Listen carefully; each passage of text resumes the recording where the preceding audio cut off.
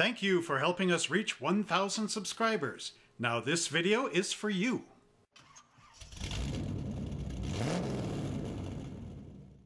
Hello everybody, my name is Trevor Selescu. And I'm the owner of Monster Hobbies in High River, Alberta, Canada. Today, we will be looking at the Type 10 AG Paris Taxi.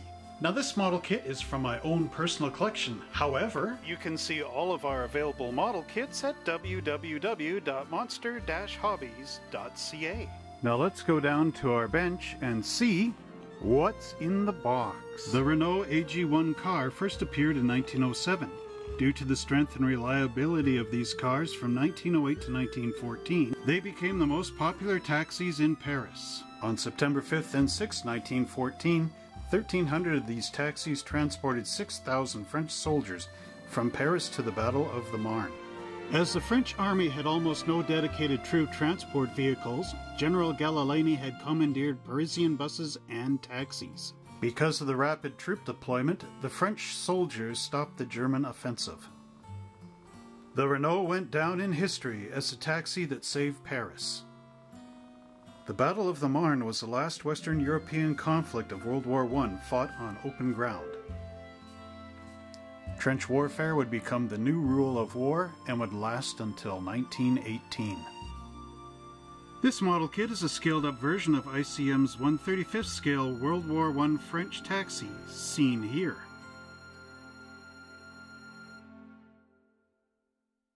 The side of our box shows an illustration of the taxi from the front view and the side view, as well as the rear view of the taxi. On the adjacent side of the box, ICM has provided a write-up with the history detailing the car. ICM model kits are unique in that the artwork on the box is just really a cardboard sleeve for the thick box board box which is underneath. ICM includes a colorful instruction sheet. All components are in one big bag. There's multiple bags inside the big bag. And a decal sheet. The colorful instruction sheet is written in Ukrainian as well as in English on this side. This column tells you everything you need to know about the Type AG 1910 Paris taxi. Down below we have Revell and Tamiya paint callouts in Ukrainian as well as English on this side and a detail of what's going on with the symbols. The instructions also include a full parts map of all the sprues contained within the kit. Step 1 shows the four-piece frame rails going together. The frames include molded on leaf springs in the back, cross braces, and the rails.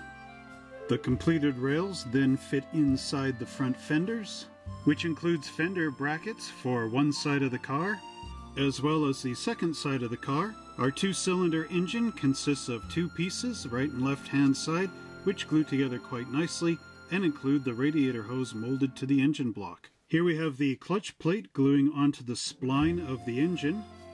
Here we have what I believe is the updraft carburetor with the tube on it, going into our cylinder head with the valves down below, which in turn glues onto the engine block, and this is all completed by a flywheel which glues onto the back of the engine. Our next illustration shows our multi-piece gearbox going together in transaxle. Here we have the top of the gearbox, the axle component, and the drive shaft. The completed engine drops into these two frame rails, C38 and C33. Once that is complete, there is a little hose here, which will glue into the side of the engine, and then our transfer case and rear differential will go up into the flywheel here and mount on the other side of that frame.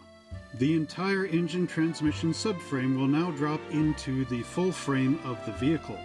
Our three-piece radiator glues together next, there's these little controls here which glue onto the back firewall, and then our radiator glues to the front of the firewall. All of this drops down into our frame behind the engine. We continue in step 14 with our coach bodywork. Here we have the floor pan, and one side of the car goes and glues up along this line here to make this one solid unit. Panel 15 shows the glass gluing into the wall of our passenger compartment.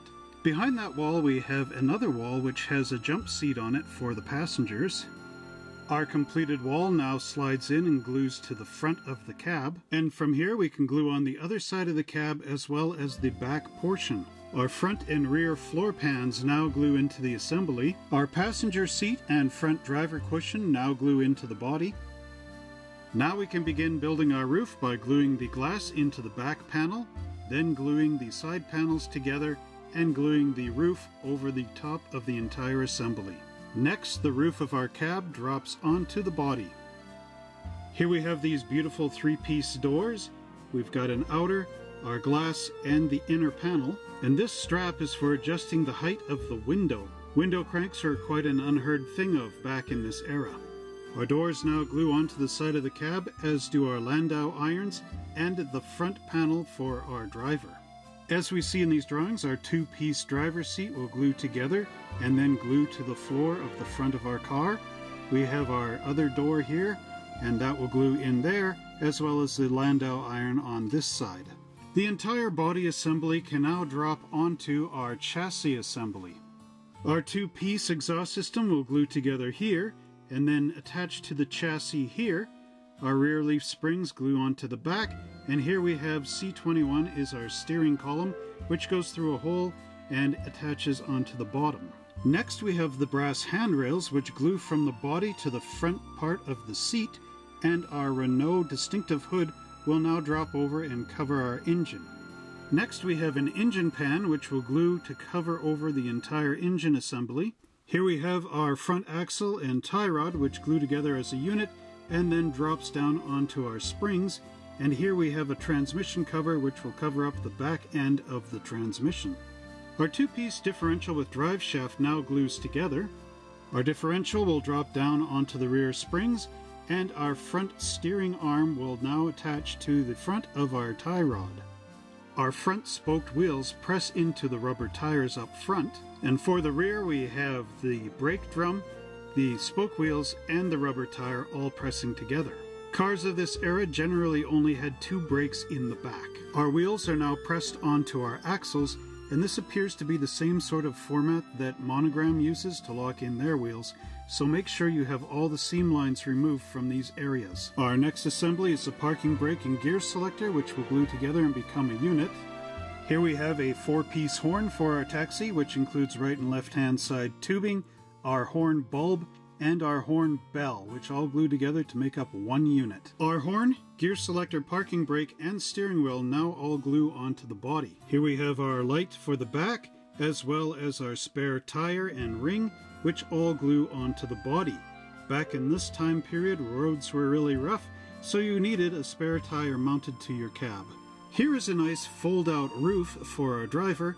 This includes a two-piece frame which drops onto the canvas cover. The final assembly then connects to our passenger compartment. Our final components consist of the two lanterns for the front of the car, as well as a taxi meter box, all of which glue onto our body, as well as the crank for the front of the engine. This is an illustration of what our taxi should look like once everything is completed. And on the back of our instruction sheet we have a paint guide to show you exactly how these taxis looked back in 1910. The parts trees in our Paris taxi count up to five, and this is the first one we're going to look at with the frame rails and the hood. We also have our rear differential in here, as well as our engine components, steering wheel, flywheel, and a lot of the lights and other components that we need to begin making up this kit. Taking a look at our hood, you can see how crisp those lines are on there as well as the nice detail on our differential. And that flywheel is quite unique. Every rivet on the frame is there. And if we turn it underneath, you can see the real absence of mold marks compared to other kits. Here we have our body and interior components for our coach, as well as some of the engine covers. You can see the nice wrinkle effect on the side panels as well as on the roof panel. Again, the detail on these parts is quite superb and very clean looking. Here's more testament to ICM's clean, superb molding practices As you can see on these front fenders, you have the rivets. And again, look at those nice lines on there. The radiator is excellent. The doors look right. And underneath, we've got our pan and the floor and the front. Also all unique and excellent looking components. Our next parts tree here shows some of the pipes, the firewall, the cover for the driver, the front of our cab, and another railing. Detail is quite crisp on these parts and again very nice and very clean. The last of our grey components include the wheels and our rear brakes as well as the spare tire carrier. And look at that nice bolt detail on the rims. Our glass panels for our model are pretty straightforward. They are simply flat. We have our rear window, our side windows, and the windows for the front of the cab, as well as the glass for our lanterns for the front and the single lens in the rear. Our tires are also generic.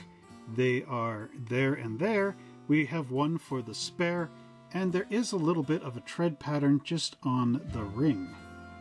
Here we have the decal sheet for our ICM 1910 Paris Taxi, and as you can see we have three different license plates as well as decals for our meter box. And that completes our look at ICM's Type AG 1910 Paris Taxi model car kit. Now if you've built this model kit in the past, we want to see your pictures of your build-up on our Facebook page. I'll leave the link in the description below. Well, I hope you enjoyed this review of our Type AG 1910 Paris Taxi Cab by ICM. Tune in next week when we open up the lid on another great model kit. And if you enjoyed this video, don't forget to like, subscribe, and share this channel with all your friends and family. Hit that notification bell so that every time I make a new video, you're the first to see it. And until next time, happy model building!